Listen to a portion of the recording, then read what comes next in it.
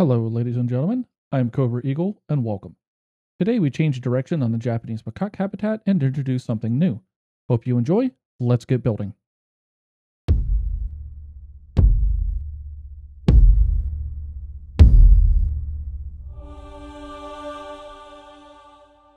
When we initially get here, just do a little bit of contemplating to decide what we're going to do, and ultimately we decide to go with the Dall sheep. The Japanese macaque has just been extremely problema- problematic with all of the issues that we've had with trying to keep them contained. And while we weren't having any escapes last time, it still was a bit of a problem. Right now, we're just checking to see if we have any Dall sheep because I have used them in another zoo. Unfortunately, I do not, so I'm buying some sheep, and that should uh, suffice for what we need to do.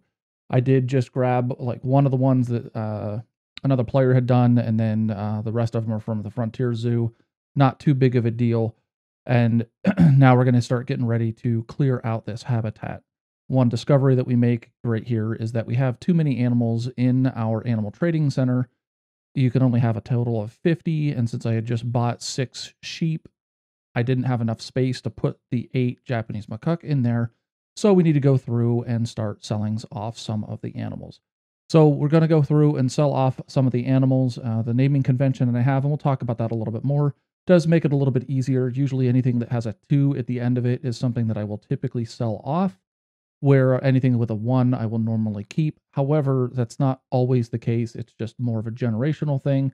But since this is a slightly different zoo, and some of these animals I just haven't even used in a long time. Before we press on, again, got to come in here and fix the red panda habitat because, again, their climbing stuff just isn't registering. Hopefully that bug goes away at some point soon. Now we're going to go ahead and get clearing out the habitat here of all the different things. Most of that building there is associated with the castle wall and the keeper hut on the opposite side. So we need to make sure that we don't just hit the building and hit delete. We want to make sure that we go through and actually delete all of the individual objects. We're going to also take away all of our anti-climbing devices because at the end of the day, it just was there were so many things that we had to put up, so many different things that were changing the overall design that it was just getting very frustrating. And in all honesty, this is probably the one of the first times that I've ever actually moved on from a from an animal that I've put into a zoo just because it wasn't working quite the way that I was wanting it to work. It does get a little bit problematic trying to delete some of the uh, or, uh, rusted metal rods over here just because it's interfering with another object, like particularly this one with that tower there. It just is not working out. So I had to get super close to it so I could finally delete it. But ultimately, that went pretty quick.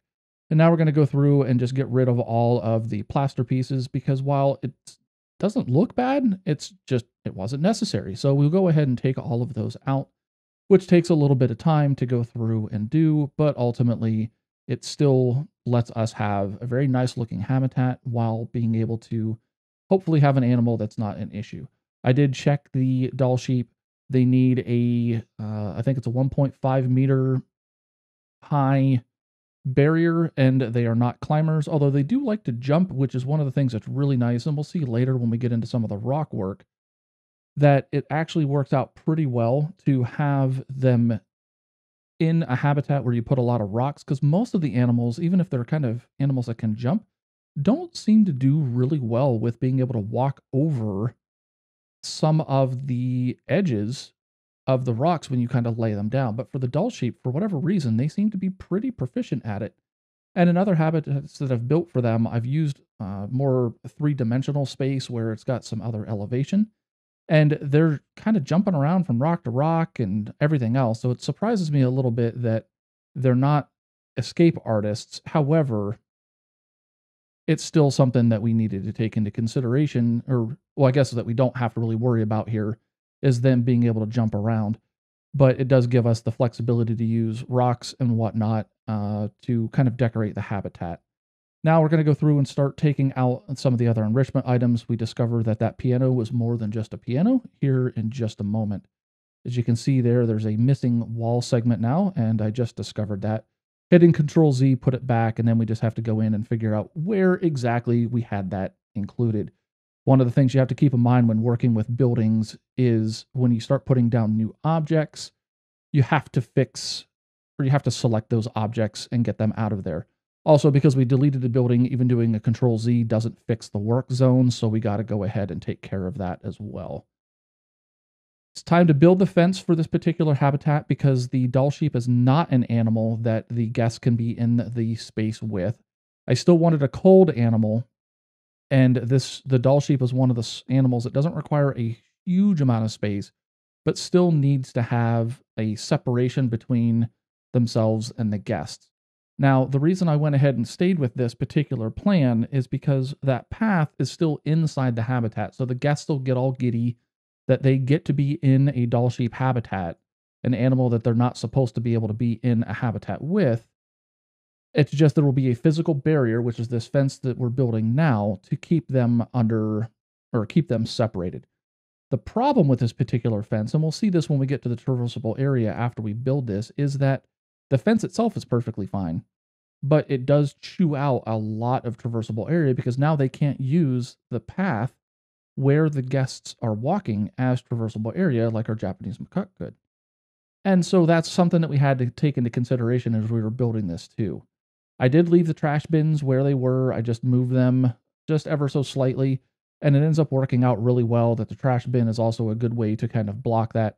Now, ideally, probably wouldn't use trash bins inside of a habitat like this because the animal could probably just knock it over, stick their head in, something along those lines. But we also need to make sure that we have a place for the guests to throw trash away along this path. Now, it might have made more sense to put the trash bins on the opposite side of the pathway where the guests are separated from the animal so the animal doesn't have an opportunity to get over there.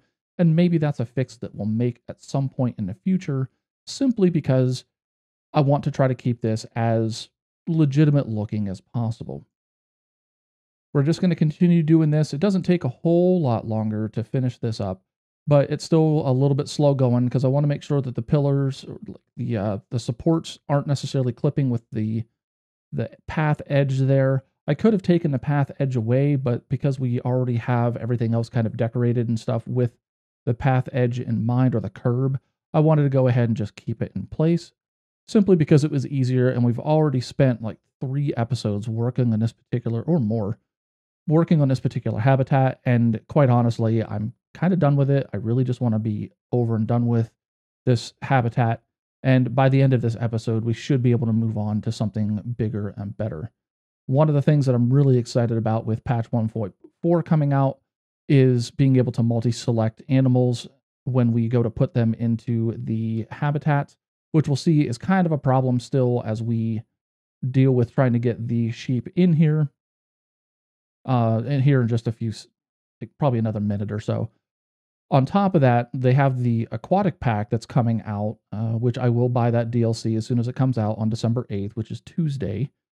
And it'll be awesome because now they're including some underwater animals like penguins and seals and those kind of things. I don't know that it's really changing the mechanics of the game a whole lot with regard to it's the same kind of animals stuff that we've dealt with before. It's not really any different than like a pygmy hippo or a polar bear or something like that, other than these animals will probably spend far more time in the water than they will on the surface, but they'll probably still have a land and uh, like water requirement to go along with that. It'd be interesting. I don't, I don't remember all the animals. I think they're introducing five new ones. It'd be interesting to see if all of the animals uh, have the same kind of requirements with regards to like the balance.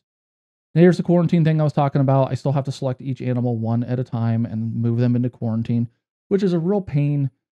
And the worst thing is you can go into the animal management tab of your zoo and get in there and multi select animals. But the problem is when you first put them in your trade center, it just says trade center. So those animals aren't actually available to this zoo yet.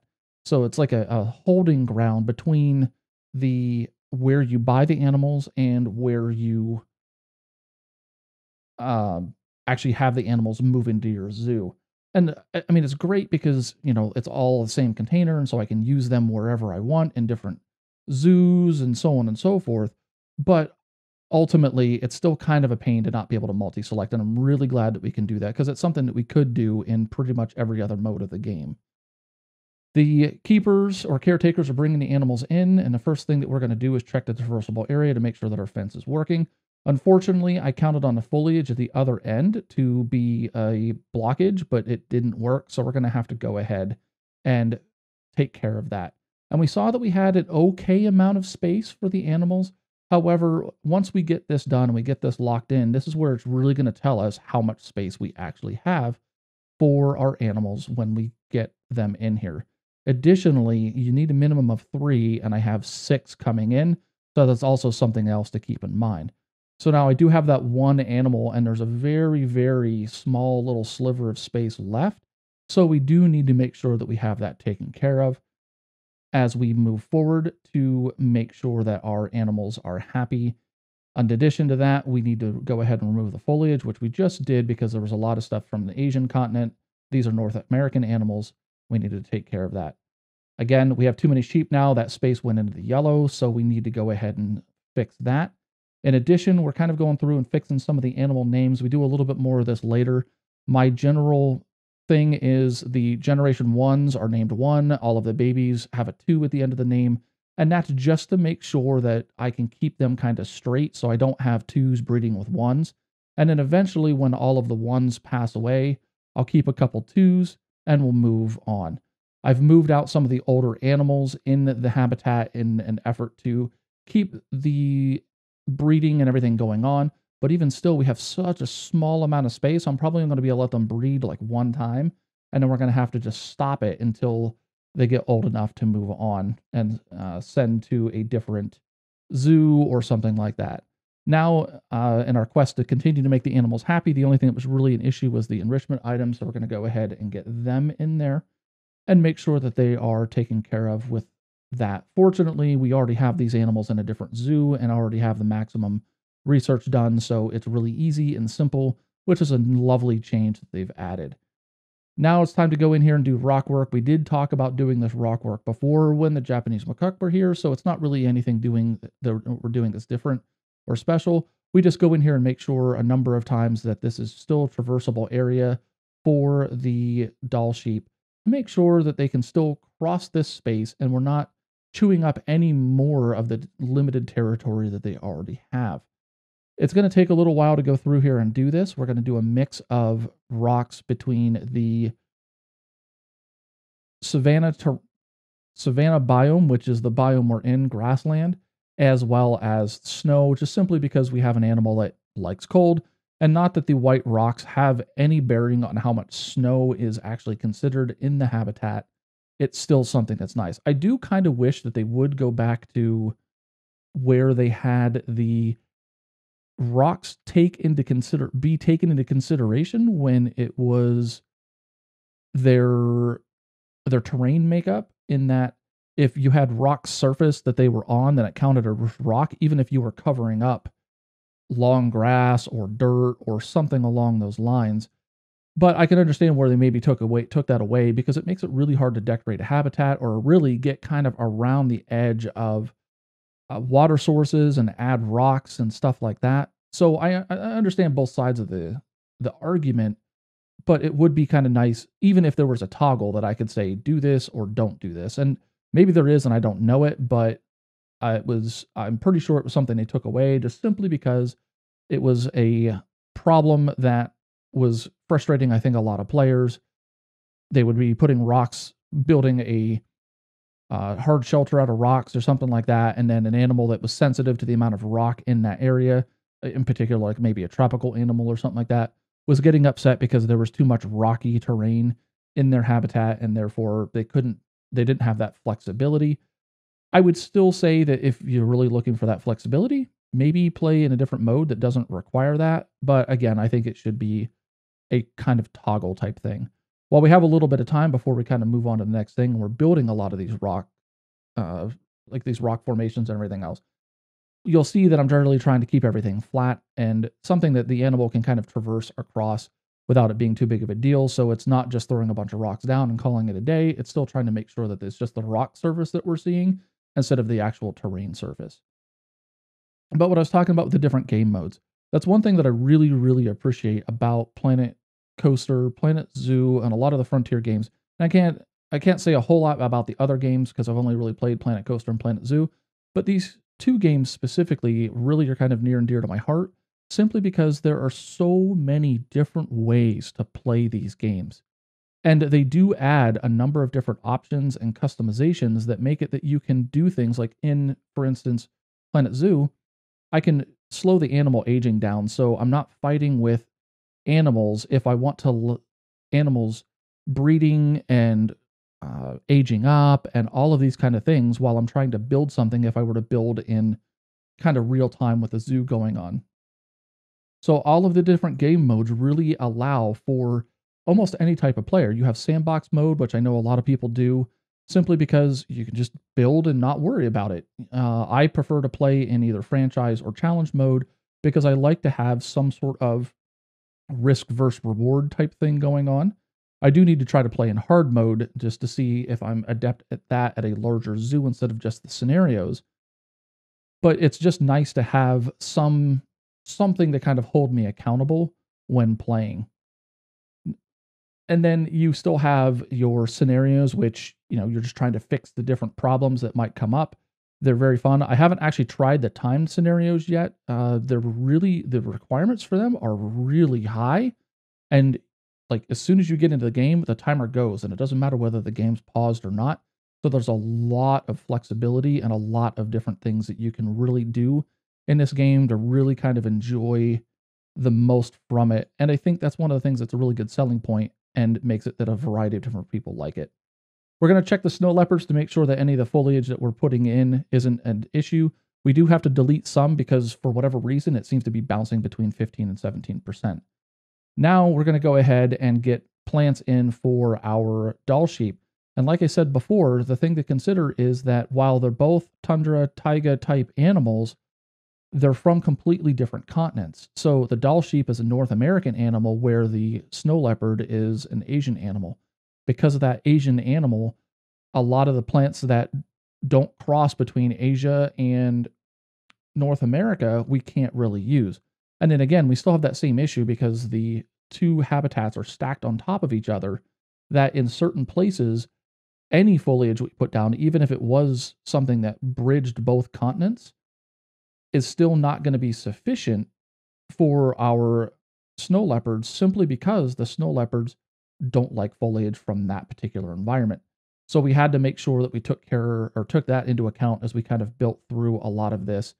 And we don't really have too many huge problems as we go through here, but it's still something that is just kind of a pain. I'm not regretting in any way building a habitat over a habitat. I think it's a really interesting way to kind of maximize the space that you have in a zoo. Uh, it kind of reminds me of a uh, a YouTube series that I was watching uh, by Attacking Toucans. I I don't know if it's, it's still his name or not, but he uh, was doing what was called a tiny park challenge, and so they went in and somebody went in and built a scenario, and they built a, a whole set of pretty ridiculous requirements, and it was this tiny, tiny little patch.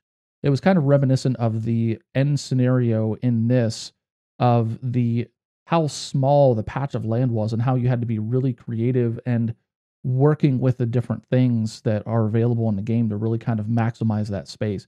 But this was so ridiculous. And he had to have something like, I, I think, a total of like 13 roller coasters or something like that in a very, very small space. So the only real options that he had, because he couldn't build out, because as we all know, these maps are gargantuan in size from a like how spread out they are. But in order to with this tiny park challenge, the map area that he could build in was extremely small. And in that, he had to get creative. And so instead of being able to go out on like the two dimensional kind of thing, he had to take a three dimensional approach to it and build underground and above ground. And he had a whole lot of rides and stuff like that. And it wasn't just throw some things down and move on. He was still very dedicated to making sure he decorated everything, made sure he built everything the way that he would expect it to kind of look. And working underground, that's actually one of the areas where I learned about hitting L on the keyboard whenever you're playing because it turns on the torch or flashlight. And that was something that even he learned during that time because it was something that was very frustrating for him going through trying to play and not being able to see very well under the ground. Then that hitting L just was like a game changer. And all of a sudden he was like, I, I can see it's the most amazing thing I've ever dealt with. So seeing how he kind of built and dealt with things there really kind of gave some idea of kind of stacking different habitats and everything here. The difference here is that with the rides in Planet Coaster, other than the scenery kind of sharing decoration type things, the animals like no nothing in the game is sensitive to the decorations. You can put whatever decorations, whatever, you can just spam a whole bunch of the same thing and it doesn't matter. Doesn't matter how it looks or whatever. But here you decorate with a bunch of plants and you can make certain animals mad or something like that. And it's all about the animal welfare in this game. All right moving on to the education boards. So obviously we had the Japanese macaque in there. We had gotten a lot of the education and everything set up for them.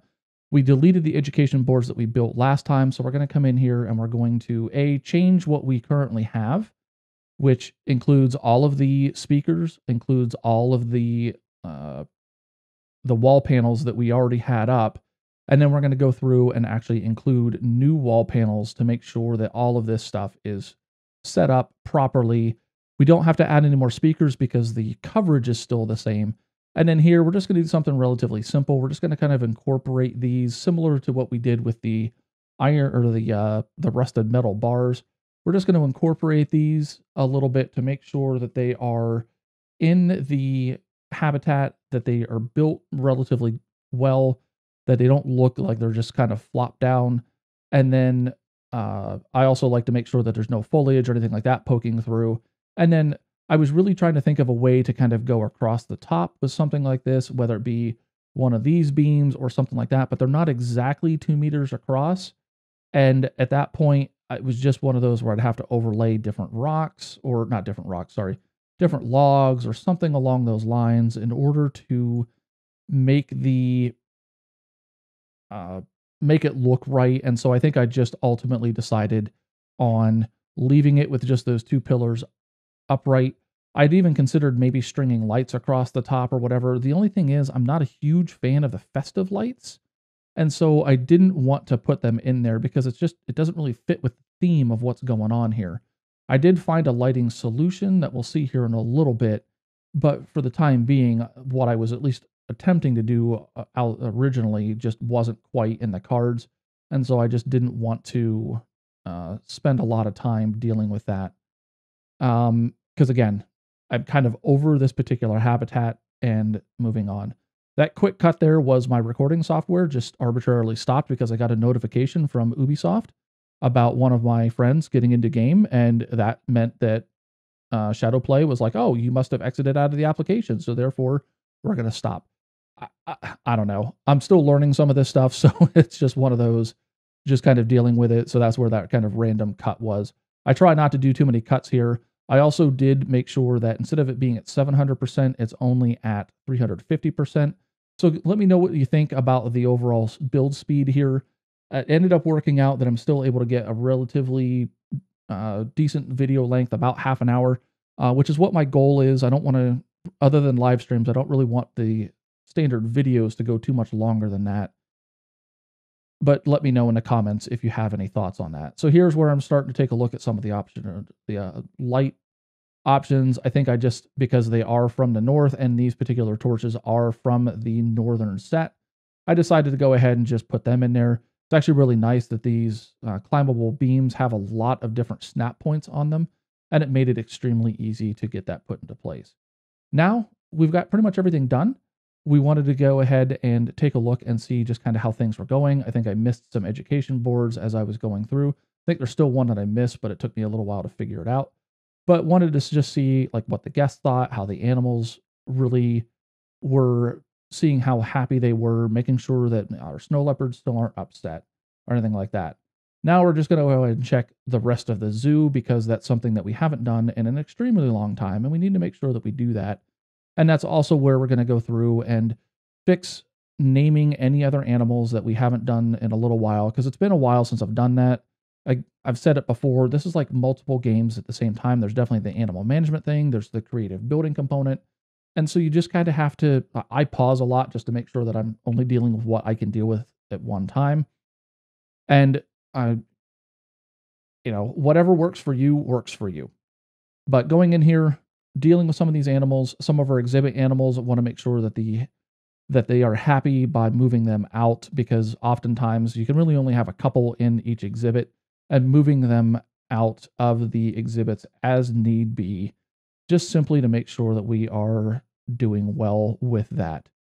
Now, there was one little spot that I think I uh, saw and then like contemplated, but it was where we had one of the education boards, and I had to be really careful about what I put here because the snow leopard habitat is right below. So I just needed to put something here. So I just took the easy route and put some rocks down there, and just tried to make it simple.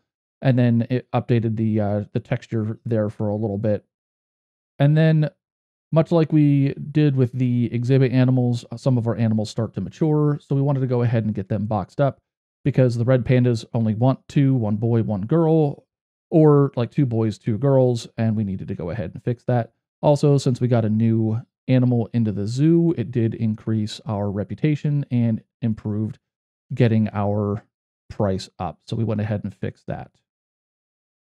All right, ladies and gentlemen, we will wrap up here for today. Please consider subscribing and hitting the notification bell so you know when I post my next video or go live. Also, let me know what you think about this content by hitting either like or dislike, and if you have the time, leaving a comment. Thank you, and until next time, have a great day.